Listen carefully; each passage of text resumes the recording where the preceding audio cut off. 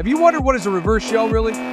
What are these weird symbols? How do you know if something bypassed your firewall and landed on your machine? First, let's have a quick intro about bind and reverse shells. When an attacker connects to a machine in this direction, he is trying to use a bind shell. Well, if it's the opposite, then it's a reverse shell. By nature, firewalls have rules to block TCP connections coming from the outside. So an attacker who will use a bind connection will get blocked. Since firewalls don't normally filter connections originating from user computer, attackers use reverse shells. Why the hell reverse shell formats are so complicated? Let's break down this simple payload. In Linux, everything is represented as a file. Whenever you try to open a connection, a TCP socket must be opened first. The user space application will write or read packets to that TCP socket. Since we need to represent this as a file, this network transaction is handled in DevTCP. Now that we have an understanding of this middle part, let's go to the surroundings. First, we need to understand three important concepts.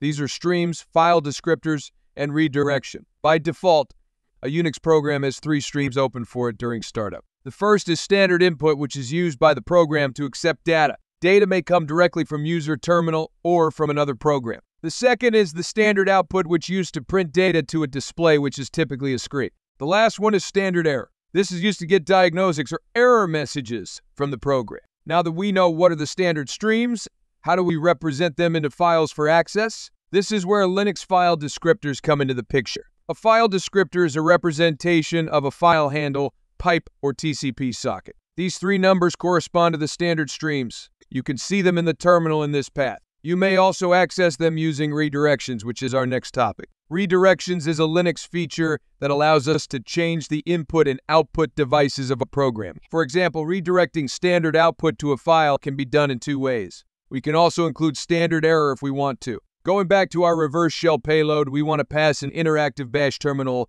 then we want to enable standard input stream so we can type our commands. We also want to enable standard output and error streams so we can see the command output and capture any errors. Lastly, we pass our interactive bash together with the three streams to a TCP socket. Now let's have a quick demo. Under normal circumstances, triggering a reverse shell from a victim machine will allow attacker to capture it from a listener and execute commands inside. Now let's see what happens if we don't include some of the streams. By disabling the standard error, we see that we cannot capture any of them. This makes it difficult in our enumeration process, such as checking the user permissions. If we disable the standard output, it makes it worse. We cannot see any of the command result. Lastly, odd thing happens when we disable the standard input. Typing inside the attacker terminal produced nothing. We only see an output if we type inside the victim terminal, which is something out of our reach. Knowing the importance of these streams will allows us to save time in troubleshooting certain scenarios such as problematic reverse shells. There are a lot more examples with exotic formats, but the concept remains similar. Before we end, here's a simple trick to catch some reverse shell connections. We can check the TCP connections for unusual destination IP import.